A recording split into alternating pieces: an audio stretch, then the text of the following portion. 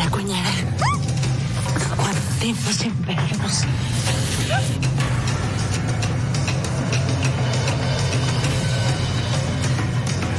Mucho mejor. ¿Qué quieres, Leticia? Ya les di la pastillita a la señora Eliana y a Caterina. Las dos duermen que da gusto. ¿Y Miguel Ángel? Como usted ordenó, le dije que el bebé necesitaba pañales y la farmacia más cerca está como a 20 cuadras. Quiero que cuides muy bien a mi sobrino mientras Caterina duerme. No quiero que se despierte y se asuste. Sí, claro, Alicia. Yo me encargo. Eh, antes de todo, ocúpate de distraer a los custodios.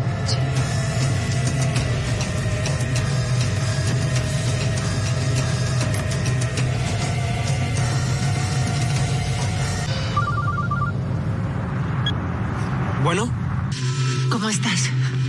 ¿dónde estás, Alicia? Eso no importa ahora. Vuelve a casa, tu hijo te necesita. A ver, ¿qué le hiciste a Marquitos? Nada. Te juro que si le haces algo... Miguel Ángel, no te vuelvo a ver más. Cuida mucho ese bebé, ¿sí? Y procura que él al menos pueda tener una buena vida. Por favor, señor, lléveme de regreso.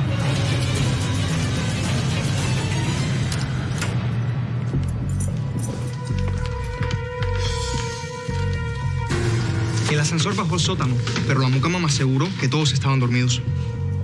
Voy a ver a mi mamá y a Caterina.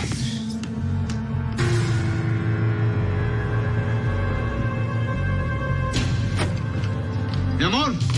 ¿Diana? Diana.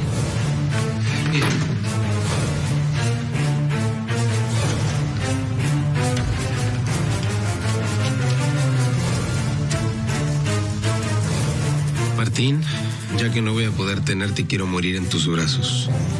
Alicia. No puede ser. Alicia no puede hacerle nada a Diana. No, no puede. La voy a matar antes de que la toque. Mi mamá y Caterina están durmiendo profundamente. ¿No está Diana? La va a matar, papá. Está loca, la va a matar. ¿Alicia estuvo aquí? Sí. Y se llevó a Diana.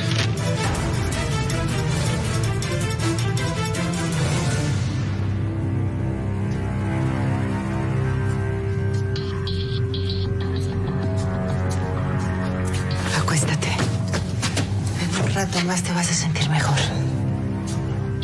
¿Qué me diste? Drogas legales. ¿Qué pretendes, Alicia? ¿Matarme? Mejor no hables ahora.